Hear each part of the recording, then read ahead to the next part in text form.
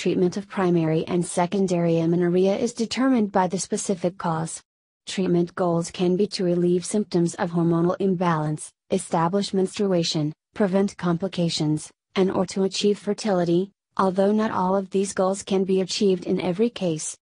In cases in which genetic or anatomical abnormalities are the cause of amenorrhea, typically primary amenorrhea, surgery may be recommended. Recommended hypothalamic amenorrhea that is related to weight loss, excessive exercise, physical illness, or emotional stress can typically be corrected by addressing the underlying cause.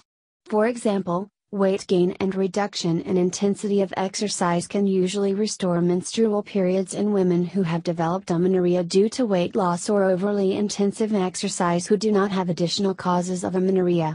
In some cases, nutritional counseling may be of benefit. Benefit in premature ovarian failure, Hormone therapy may be recommended both to avoid the unpleasant symptoms of estrogen depletion as well as prevent complications, see below, of low estrogen levels such as osteoporosis. This may consist of oral contraceptive pills for those women who do not desire pregnancy or alternative estrogen and progesterone medications.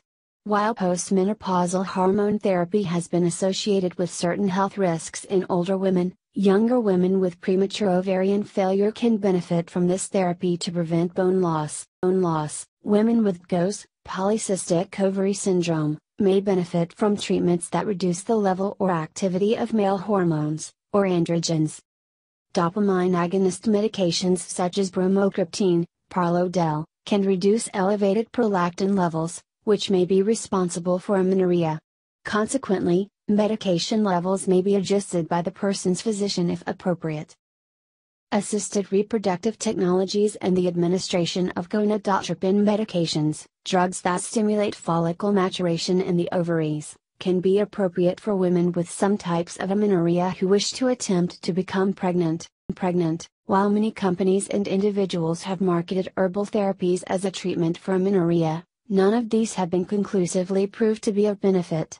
These therapies are not regulated by the US FDA and the quality of herbal preparations is not tested.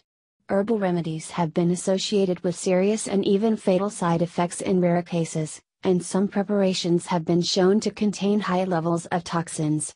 Before deciding to take a natural or alternative remedy for amenorrhea, it is wise to seek the advice of your healthcare practitioner. practitioner.